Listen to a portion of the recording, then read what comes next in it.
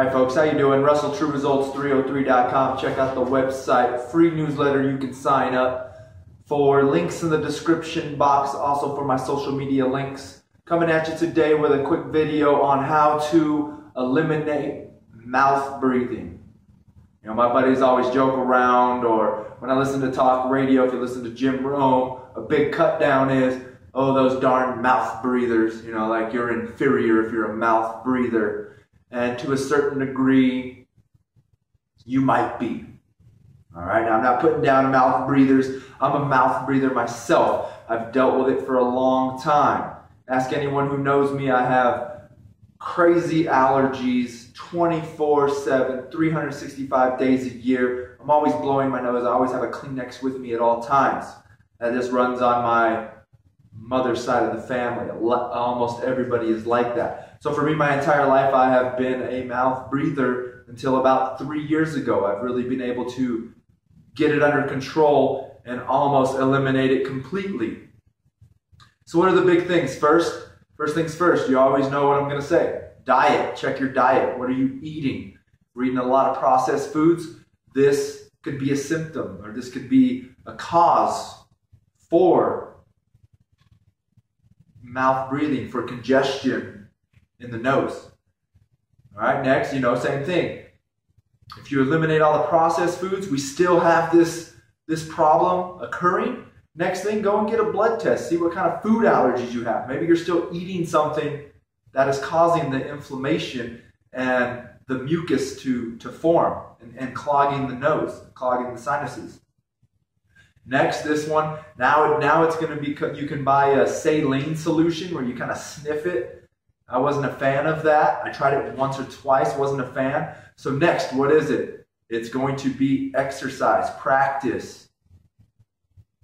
My old boss used to make fun of me when I first started performing this. It's forcing yourself to breathe through your nose. That's, that's what you have to do. You have to force breathe through the nose. Now, of course, be careful. Same thing, you know, when your ears are plugged, they'll say plug your nose and push. They say you can blow an eardrum or something, so be cautious when you're doing this. But once again, you've got to practice breathing through your nose. You've got to be able to open the pathways of the sinus and the nostril. You've got to be able to open it. And you've got to be able to practice it. We're coming back to that word, proprioception, being aware of what your body is doing. For me, like I said, mouth breather for 27 years, 28 years. So now, even when my nose is open, I still catch myself breathing through my mouth and I have to be aware is my nose plugged? No, my nose is open. I'm just breathing through my mouth because it's instinct. I'm just used to doing it. I've done it for 27 years. Something that my body does. So once again, it's just practicing. And then it's slowing down that breath because it might be slightly open, but if you're trying to force something through it, it's not going to work. So now we've got to slow our breathing, and breathe in and out and breathe in and out.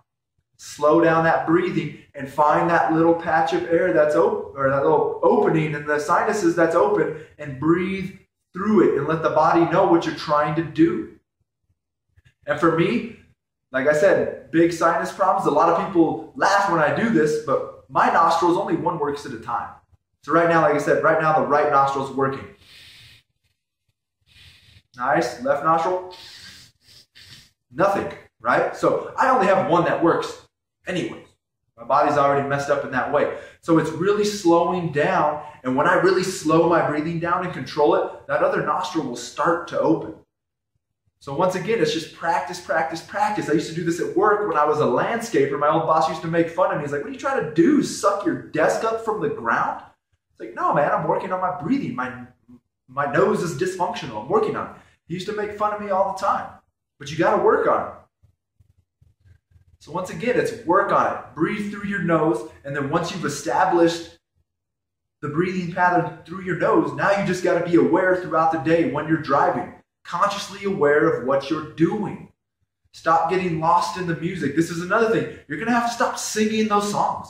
Turn turn the radio off. Practice your breathing because if you're singing, you're breathing through your mouth anyways, then you stop if you have a dysfunctional breathing pattern, you're not going to be able to switch back to your nose. you're going to be stuck in mouth breathing mode.